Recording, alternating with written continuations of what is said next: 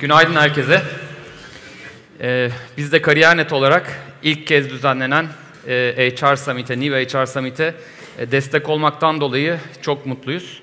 Ben de baştan söyleyeyim özellikle e, Arda ve Webrazi ekibine böyle bir organizasyona ön ayak oldukları için ben de şahsen teşekkür ediyorum. Umarım çok uzun soluklu bir organizasyon olur HR dünyasının Türkiye'de. Buna çok ihtiyacı var.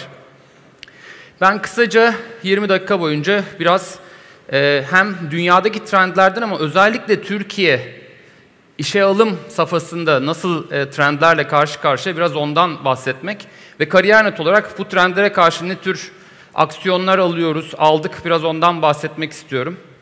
Bu sene bizim için çok önemli. Öncelikle onu söylemem lazım. Kariyer.net e, bu sene 20. yılını kutluyor. Türkiye'nin ilk internet platformlarından bildiğiniz gibi. Ve 20 yıl önce Kariyer.net aynı diğer startuplarda olduğu gibi 4 tane e, gencin hayali olarak ortaya çıktı. Şimdi dili geçmiş zaman kullanıyorum ama ben maalesef o 4 gençten birisi değildim. Ben profesyonel olarak çok daha 3 e, sene önce katıldım e, Kariyer.net ailesine.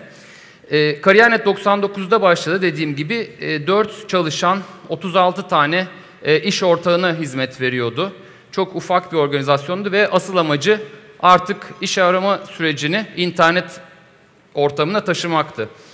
Bu 20 senelik süre zarfında ciddi anlamda büyüdü Kariyer.net ve şu an itibariyle işte 4 kişiden 350 çalışana sahip olan işte 36 işverenden 100 bine yakın işverene hizmet veren bir şirket haline geldi. Gerçekten Türkiye'nin her tarafında 100 binden fazla işverene biz şu anda aktif olarak hizmet veriyoruz. Biraz daha rakamlardan bahsetmek gerekirse hani nasıl bir e, hacmi dolduruyor Kariyer.net işe alım piyasasında. Şu anda 50 bin iş ilanı yayınlanıyor Kariyer.net üzerinde. 32 milyon ziyaret gerçekleşiyor bizim platformumuza ki birçok e, gazeteyle, medya organıyla karşılaştırdığımızda e, gerçekten yüksek bir rakam olduğunu görebiliyoruz. 200 bin yeni aday her ay aramıza katılıyor ve ayda sadece Kariyer.net üzerinden 12 milyon iş başvurusu gerçekleştiriliyor. Yani günde yaklaşık 400 bin başvuru Kariyer.net üzerinden gerçekleştiriliyor. Yılda bakıldığı zaman da e, toplamda işte biraz önce de bahsettiğim gibi 100 bin işveren 25 milyon özgeçmişimiz var e, şu anda bünyemizde ve 8 milyon download'a ulaştı Kariyer.net. İki sene önce dedik ki Kariyer.net evet e, çok eski bir firma ama bazı segmentlerde daha kuvvetli yer alabiliriz ve bu amaçla da mavi yaka segmentine hizmet veren yeni bir ürün, yeni bir aplikasyon hayata geçirdik. Tamamen ücretsiz olan bir uygulama. İşin olsun. İşin olsun da çok hızlı bir şekilde büyüyor, büyümeye devam ediyor. İki yıllık rakamlar. Şu anda 40 bin iş ilanı var. İşin olsun bünyesinde mavi yaka segmentine yönelik. 4 milyondan fazla ziyaret gerçekleşiyor her ay. Ee, ve de 2 milyon başvuru yine aylık gerçekleşiyor. Dolayısıyla iki rakamı topladığınız zaman yaklaşık 14 milyon başvuruyu Kariyer.net ve işin olsun üzerinden karşılamaya çalışıyoruz. 180 bin işverene hizmet veriyoruz işin olsun e, platformuyla. Şu ana kadar 3.3 milyon download'a ulaştık ve 1.5 milyon mavi yaka adaya hizmet götürmeye çalışıyoruz. Bu Kariyer.net'in doldurduğu hacim.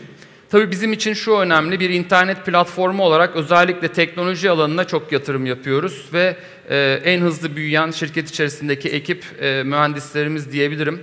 Şu anda 50'den fazla mühendisimiz var ve e, Sanayi ve Ticaret Bakanlığı'ndan onaylı olan e, bir ARGE merkezimiz var. ARGE merkezine sahip olan e, birkaç tane internet platformundan birisi Kariyer.net. Günün konusu tabii ki dijitalleşme ve İK trendleri. Genelde dünyada bakıldığı zaman ki gün boyu bununla ilgili de birçok e, sunum dinliyor olacaksınız. Ana hatlarıyla toparlamak gerekirse dünyada bakıldığında şu 9 e, ekranda gördüğünüz trendi görüyoruz. Ve tabii ki dijitalleşme hayatın her alanına nasıl etki ediyorsa İK'ya da etki ediyor ve bu 9 trendin 7 tanesi direkt olarak dijitalleşme ile ilgili. Örneğin makine öğrenmesinden bahsediliyor. Yapay zekadan bahsediliyor ki birkaç örneğini kariyer.net üzerinde nasıl uyguladığımızı birazdan ben de bahsedeceğim. Direkt İK camiasını, İK dünyasını da etkiliyor. Mobil platformları kullanma, Artık bütün %100'lük bir mobil akıllı telefon penetrasyonundan bahsediyoruz Türkiye'de. Dolayısıyla her alanı etkilediği gibi yine insan kaynakları alanını da etkiliyor.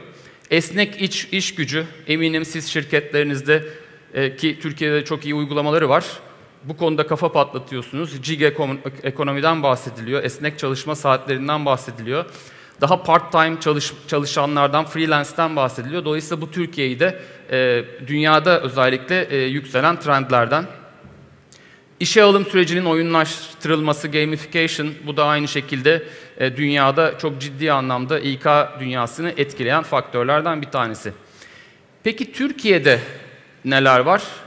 Şimdi Türkiye'ye bakıldığı zaman sadece bu 9 trendi alıp uygulayalım demek biraz aslında e, realiteden bizi uzaklaştırabilir diye düşünüyoruz, görüyoruz kendi rakamlarımıza baktığımızda. Çünkü Türkiye'nin bu 9 trendden farklı olarak bir tane trendi var ki aslında bütün işe alım piyasasını çok etkiliyor. O da başvuru rakamlarının hızlı bir şekilde artması. Burada gördüğünüz grafik Kariyer.net'in grafiği başvuru rakamlarının trendini gösteriyor Ocak 2018'den bu yana. 12 milyon başvuru olduğunu söyledim biraz önce. Bu rakam geçen sene yaklaşık 10 milyonlardaydı. Üzerine bir de işin olsun eklendi 2 milyon. Toplam 14 milyonluk bir potansiyelden bahsediyoruz. Diğer ülkelerle kıyasladığımız zaman fark ne kadar açılmış olduğunu daha da net görebiliyoruz. Sağda gördüğünüz işte bizde bir iş ilanı 500'den fazla başvuru alırken Avrupa'da, Avrupa ülkelerinde bu rakam 50 civarında. Yani 10 katlık bir farktan bahsediyoruz. Bunun sebebi nedir diye sorsam tabii ki herkes cevaplayacaktır. Özellikle tabii işsizliğin e, artıyor olması, artmakta olması, %13'e yakın bir işsizlik rakamından bahsediyoruz. Dolayısıyla da bu başvuru rakamlarımızı direkt etkiliyor. Altta gördüğünüz siyah e, çizgi OECD ülkelerinin averajını gösteriyor. Yukarıdaki de Türkiye. Arada bir 2-2,5 katlık bir işsizlik oranında fark var. Dolayısıyla Türkiye'de trendlere bakarken bu işsizlik trendi ve bu işsizliğin başvurular üzerindeki etkisini çok e, hani anlamadan veyahut oralarda çözüm üretmeye çalışmadan direkt trendlere atlamanın biraz hızlı olacağını düşünüyoruz. Tabii ki biz de dijitalleşeceğiz ve bütün bu dijitalleşmenin e, nimetlerinden faydalanacağız. Özellikle e, şirket içerisinde mevcut çalışanlarımız için ama işe alım sürecinde bu başvuru oranının artmakta olması e, bizi ciddi düşündürmesi gereken e, önemli bir faktör. Kısaca şöyle söylenebilir aslında OECD ülkelerinde özellikle Avrupa ülkelerinde işe alım sürecinde şu söyleniyor e, işe alım platformlarına bizler gibi bana bir aday bul. Adaya ihtiyacım var çok acil bir şekilde. Dolayısıyla nicelik çok önemli. Bizde ise bize daha çok gelen şu sizlerden iş ortaklarımızdan ben uygun aday istiyorum. Aday bolluğu var zaten her bir ilan 500'den fazla başvuru alıyor. Ben uygun bir adayı istiyorum. Dolayısıyla biz nicelikten ziyade, nicelik de önemli ama nitelik de en az onun kadar hatta daha fazla önem kazanıyor Türkiye'ye bakıldığında.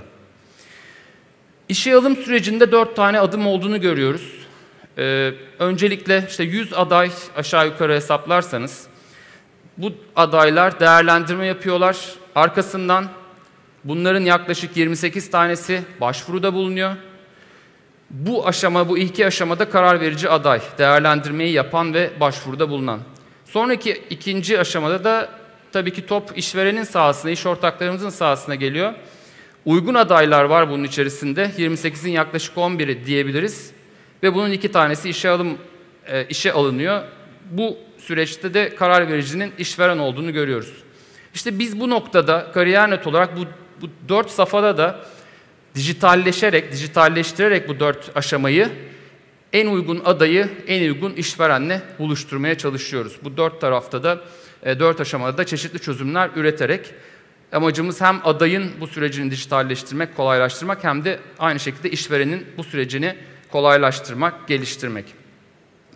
Neler yapıyoruz? Kısa kısa onlardan bahsetmek istiyorum. Özellikle birinci aşama yani adayın bu 100 tane bahsettiğimiz adayın bir anda gelip değerlendirmesi, bakması Kariyer.net üzerindeki ilanlara. Biz geçen sene e, işveren değerlendirme konusunda Türkiye'nin en önemli platformlarından birisi olan İşkoli'yi bünyemize kattık. Ve İşkoli'nin de bünyemize katılmasıyla adaylara şu aşamalarda destek veriyoruz. sorularına cevap bulmaya çalışıyoruz. Birincisi bir aday geldiği zaman bir pozisyon görüyor ama bu pozisyon ne iş yapar, nedir bu pozisyonun tanımı? Ben gerçekten benim vasıf, vasıflarıma uyuyor mu, uymuyor mu anlamak istiyor. Biz ona cevap veriyoruz. Pozisyonla ilgili örneğin burada yazılım uzmanı var. Yazılım uzmanı nedir, ne iş yapar, ondan ne beklenir onu cevaplandırıyoruz. İkinci aşamada hangi yetkinlikler gerekli? Sadece tabii pozisyonu anlamanız yeterli değil. Bir de kendinizle ne kadar uyumlu ona bakmanız gerekiyor. Özellikle teknik pozisyonlarda bu detayları vermek çok önemli. İşte e, hangi skill'lar, hangi yetenekler gerekli bu e, yine e, pozisyonla ilgili olarak adaya bu bilgilendirmeyi yapıyoruz. Tabii ki en önemlisi çok güzel ama ne kadar kazanacağım? Kazançla ilgili bilgileri de aynı şekilde platformun içerisinde görebiliyorlar. Bu user generated yani kullanıcılardan gelen bilgileri biz bir averaja hesaplayarak koyuyoruz. Bir minimum maksimum hesaplıyoruz. Bazı işte istatistiki olarak outlier dışında kalan faktörleri veya rakamları dışında bırakarak bir averaj e, gösteriyoruz. Burada bir örnek var. Ve de tabii ki yine adayın bizlere, sizlere en çok sorduğu mülakatta ne sorulur, nasıl hazırlanmam lazım, neyi sorarlar acaba kısmını da biz yine adaylardan bize gelen feedbacklere, geri bildirimlere göre bu platformun içerisinde pozisyon bazında cevaplandırmaya çalışıyoruz. Binin, binden fazla pozisyonda şu anda e, kariyer olarak adayların bu sorularına cevap bulmaya çalışıyoruz. Ve bu hızlı bir şekilde de e, bu pozisyon sayısı e, artıyor kariyer içerisinde.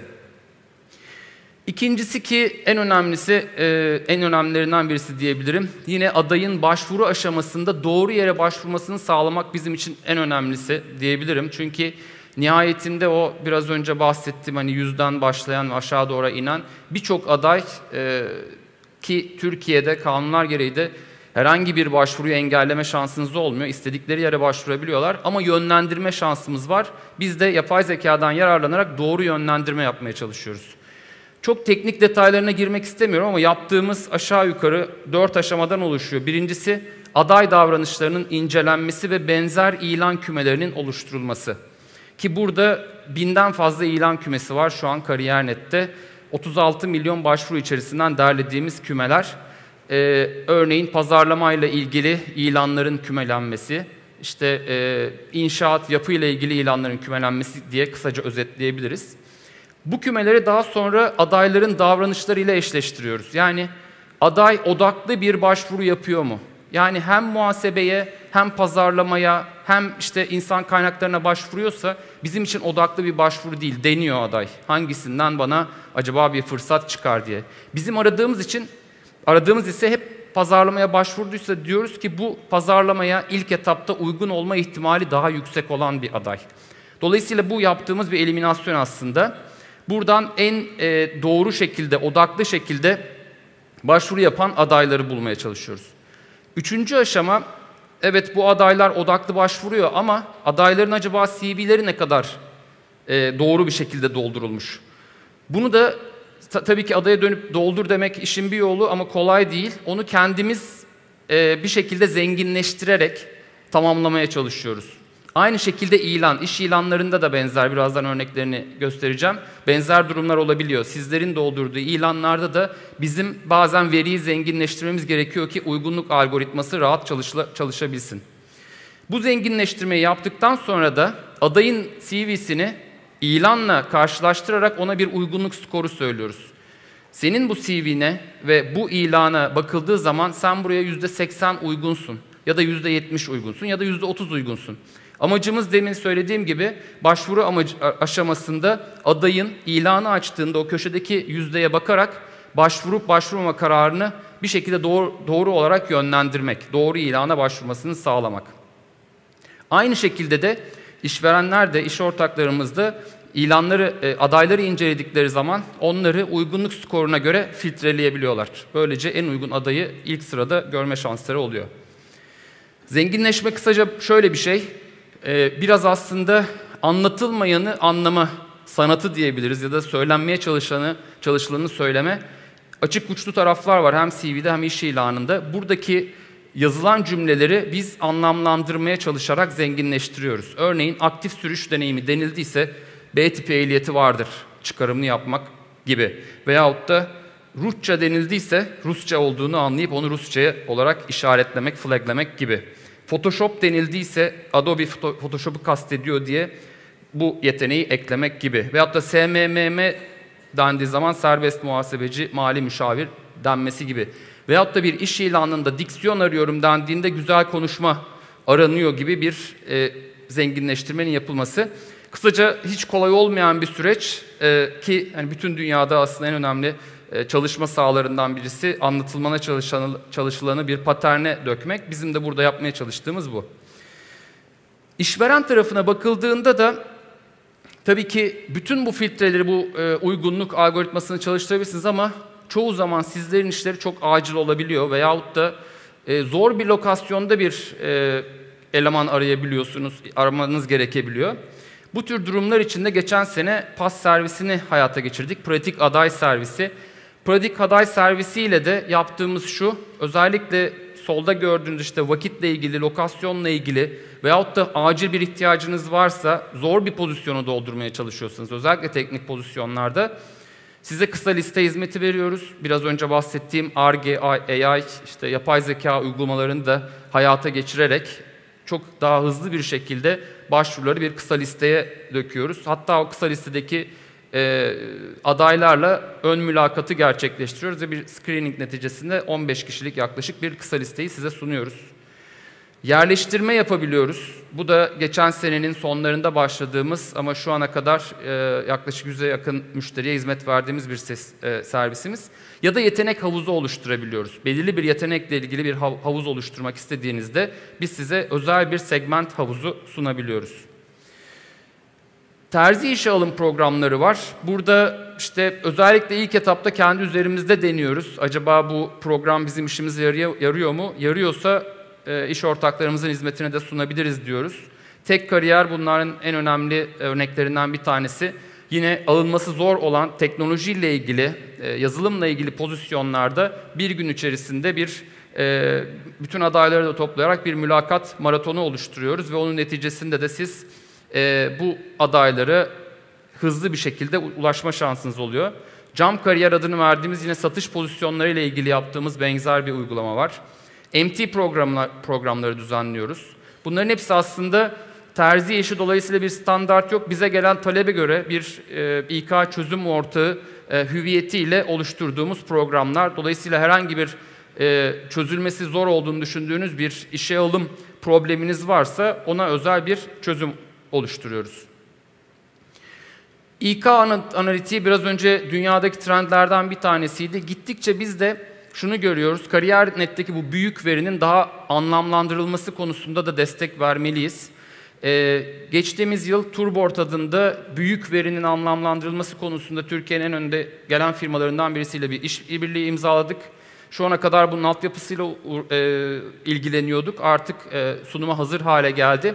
Artık KariyerNet'teki size gelen işe alımla ilgili tüm verileri kıyaslayabileceksiniz, detaylarını görebileceksiniz ve bulunduğunuz sektör averajıyla da kıyaslayabileceksiniz. Yani sadece kendi rakamlarınız, trendleriniz değil, benim bulunduğum sektördeki diğer şirketlerle bakıldığında ben neredeyim, başvuru adedim nasıl, hangi üniversiteden daha fazla ya da daha az alıyorum gibi tüm detayları bu yeni e, analitik e, aracımızla, tool'umuzla birlikte görebiliyor olacaksınız. Son olarak da KariyerNet 360 aslında KariyerNet'in bir özelliği dünyadaki diğer işe alım e, platformlarıyla bakıldığında bizim başından beri 1999'dan beri sunduğumuz en önemli servislerden birisi aday takip sistemimiz. Genelde yurt dışında ATS adını verdiğimiz aday takip sistemleri ayrı şirketler tarafından üstleniliyor. Türkiye'de KariyerNet'te ikisi bir arada tabiri caizse. ATS e, aday takip sistemimizi tamamıyla geçen sene yeniledik ve şu anda tüm müşterilerimiz yeni aday takip sistemimiz olan KariyerNet 360'ı kullanıyorlar. Yeni modüllerle de KariyerNet 360'ı geliştirmeye devam ediyoruz. Şu anda hepimizin eminim e, kafasının en çok hani e, kurcalayan şeylerden birisi KVKK ve aday alım sürecinde KVKK çok çok ciddi riskler içerebiliyor eğer adaydan doğru e, onaylar alınmadıysa. ATS'de de e, müşterilerimizin büyük kısmının aday alımını yürüttüğünü bildiğimiz için bir KVKK modülünü hayata geçirdik. Böylece almanız gereken izinleri ekstradan e, başka dışarıdan başka mailinglerle yapmanıza gerek kalmadan direkt Kariyer.net üzerinden yapabiliyor olacaksınız. Çok önemli ve e, bazı riskleri bertaraf etmenizi sağlayacak olan bir araç. Express aramayı hayata geçirdik. İsimle arama özellikle adayları, e, isimle arama veyahut da koşullu arama gibi hizmetleri e, Express aramayla yapabiliyor olacaksınız. Aday deneyimi modülü tabii ki şirketlerin bu employer branding anlamında en çok dikkat ettiği unsurlardan birisi. Adaya işe alınmasa da doğru bir deneyim yaşatmak. Dolayısıyla bu deneyimi de doğru ölçümleyebilmek için yine bir modülümüz hayata geçiyor. Son olarak da test modülü. Birçok şirket sadece adayı CV üzerinden değil, aynı zamanda CV'den sonra belirli kişilik testlerini de uygulamak istiyor. Bu kişilik testlerini de direkt olarak başka dışarıya çıkmaya gerek kalmadan tabii ki Türkiye'nin önünde gelen e, bu anlamda çalışan şirketleriyle ortaklaşa e, e bir çabayla ortaya çıkarttığımız modülle de test edebiliyor olacaksınız. 20 ee, dakika içerisinde tabii ki 20 yıllık bir serüveni ve son geldiğimiz noktayı özetlemeye çalıştım. Ee, dinlediğiniz için çok teşekkür ediyorum. Tekrar e, Webrazi ekibine de bu güzel aktivite için çok teşekkürler. Güzel bir gün diliyorum hepinize. Sağ olun. Biz teşekkür ederiz. Çok sağ olun.